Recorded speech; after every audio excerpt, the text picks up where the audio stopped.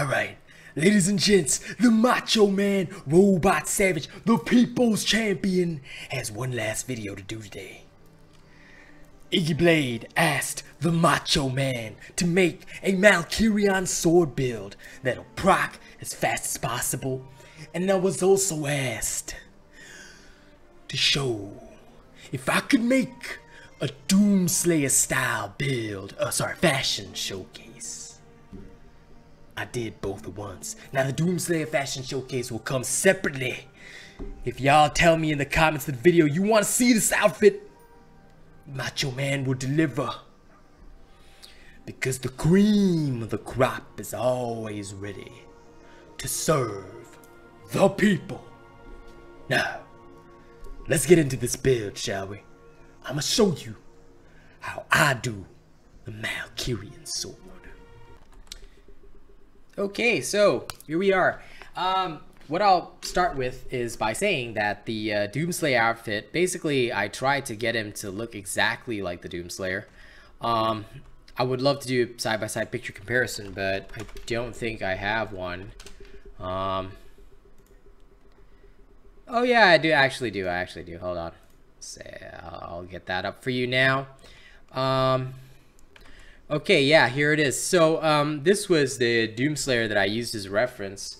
Uh, as you can see, mostly he uses the color green, and I tried to imitate the same thing, and the browns as well for the for the um, gut piece and the shoulder. So that was in, and yeah, he's got mostly green and browns on the on the legs as well. So that's basically what I did with the Doomslayer, and I tried to make it as faithful as possible. So hopefully you guys will enjoy that. Okay, let's get into this build without wasting any further time. Cyclonic Fury is your Malkirion sword. You've got your Predator cell, Wild Frenzy cell. Okay. Now you might be thinking to yourself, hold up, hold up, hold up, hold up, hold up, hold up. Are you, are you stupid? Are, are you, are you dumb, stupid, or dumb, huh? Why Predator? Okay, I'm gonna explain this again um, in a way that will tell you that what I like with this build is to favor burst damage. Okay, the reason why I favor burst damage is because you are using Avenging Overdrive. You shouldn't be taking hits. But I'll show you how to modify it, and I'll show the modified version in action as well.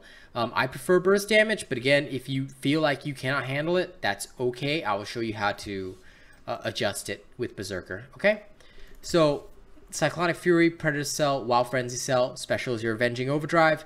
Your mod is Recursive Hilt. Okay? You'll be using the Storm Sword as a bond. Now, you might be thinking, wait, wait, wait, wait, wait. The, the, the, the, the Drask has a has 30% damage versus Behemoth Tails. Yeah, but Behemoth Tails don't stagger. And when you're solo, um, it's much wiser to get your Avenging Overdrive up fast. Okay, so you will be dodging, by the way, a lot. And this helps power your Avenging Overdrive, which means more DPS, more parrying, more everything. All right.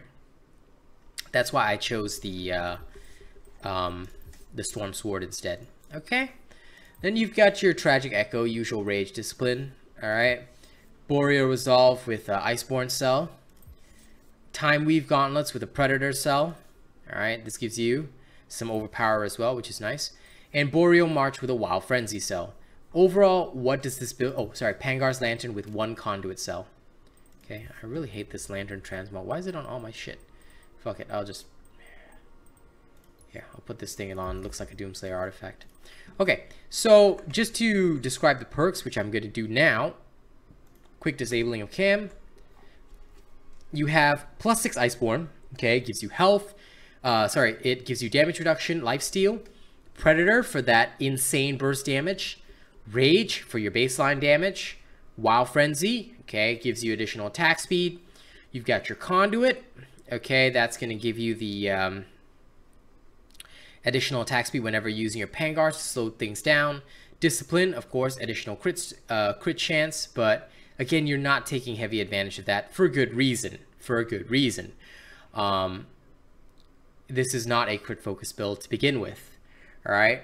Energize, for which uh, comes with a Storm Sword bond, and you've got Overpower.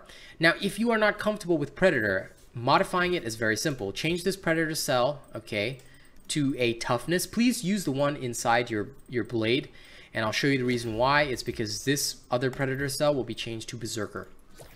All right, this gives you um, the same Wild Frenzy, but now you've got more healing from the toughness and you've got a plus 3 Berserker. So you do lose out on 15% raw damage and you lose out on burst damage, but um, you gain on sustained damage as well as uh, self-sustain. So if you're not comfortable with the Predator, you can modify it very easily. Okay, but I'm going to show it to you with the Predator with some burst damage. I'm probably going to take a few hits because I'm not that good with sword, but, you know, uh, it works in general. Alright, so let's get right into it. Let's not waste time. I'll go straight to um, Conundrum Rocks should be fine. Could do Brightwood as well, but let's go to Conundrum Rocks. Okay, Private Hunt, here we go. We're going to an area about 5 to 8 levels higher. That's fairly standard for this type of build. And let me put the cam back on. For those of you that don't want to see the combat showcase, you can like, share, and subscribe. And don't forget to drop a tip if you want to You via the link in the description of the video. All right. And if we get like 10 bucks, we will go do a like food food showcase with the Macho Man. Uh, real life food consumption video. Anyway, we'll be bringing the Macho Man back at the end of the video. So if you guys want to see him again, skip to the end. Otherwise, enjoy the combat showcase and watch him in action because you know we do all of our announcements at the end now with Macho Man. All right, I'm really getting into this. You know, like I, I think I'm actually getting better at using the the Macho Man and all that. Okay, I'll be frank with you guys. This is the only vid I've had to edit because uh, some annoying shit happened that invalidated the earlier footage. Anyway, we were starting off with level 13 Charrogg. Alright, you normally would not be in this situation, so please do not think that this is normal. Okay, I'm fighting a level 13 Charrogg with some level 5 swords, and uh, this is obviously a very fucking bad idea. Okay, but just for the sake of the combat showcase, I'm doing it. Because I think it would be cool to see that in action. Now see, it procced the lightning right there, and I actually wanted that to happen so badly. Just because um, I think it'd be cool. But again, you cannot hope for the lightning proc, because no matter how fast you attack, that is usually not going to be the case. The lightning procs uh, also depend on the behemoth level, and um, you're you're you are under level relative to these behemoths in the combat showcase, so that is not going to happen often. But where you are around the behemoth level, it is very possible to um, get a good proc going. Okay. And don't forget that because you're energized on this, you probably want to have your uh, avenging going for as long as possible. That's what I would do anyway. Now, I, oh wow, it procced again. But yeah, um, you want to trigger as many of your um, hits as possible, the more hits you do. So putting down this special is always very important because that crystal is going to help you. Now, you might die occasionally if you're fighting creatures way above your level like this. So my advice is please do not. Please be sensible.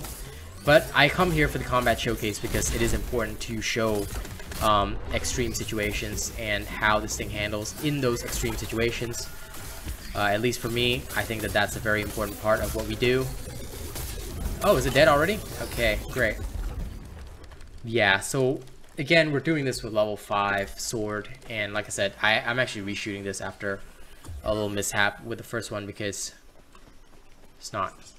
Let's put it that way. Lots of snot. Um, okay. And I don't think anyone wants to deal with that. Alright. Allergies suck, right?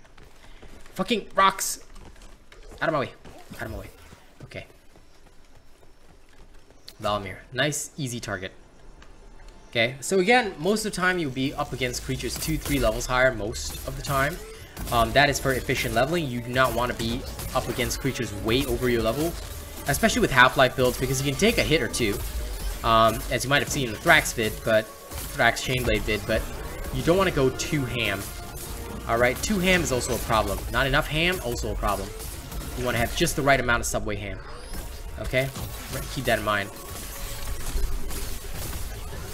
Ah, okay, there we go. Proc into the lightning burst. So again, you wanted to get you want to get it proc fast. Make sure you put this down. Okay, and then do your light attacks. Get to counter where you can. So you can get a lot of lightning damage going.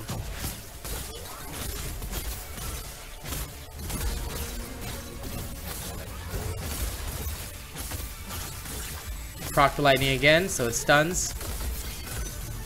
Basically, like I said, with this build, not only do you attack fast, you also deal with things fast. So it gives you some entertaining options. It really does.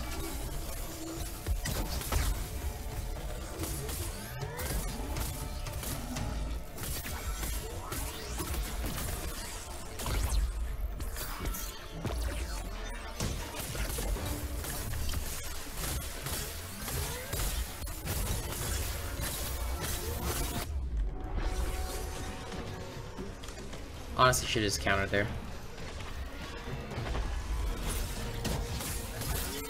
That was my bad, nobody else's.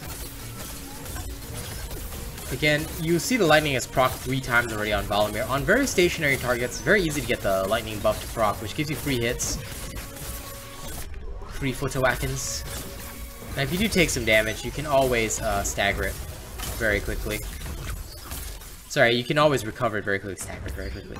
There you go, okay? That that should be good enough. Um, as you can see, this is effective, but again, you want to be aiming for behemoths that are two to three levels higher, not the 5, 10 that we, not the 5 to 8 that we do in the showcase. Again, it's just a showcase, all right? So hopefully that helps you out. Hopefully, Iggy Blade, you enjoy this build. It is fun, it is fast, it works well. There's an event, which I'm probably going to do at the end of this video, but first we got to bring back the Macho Man.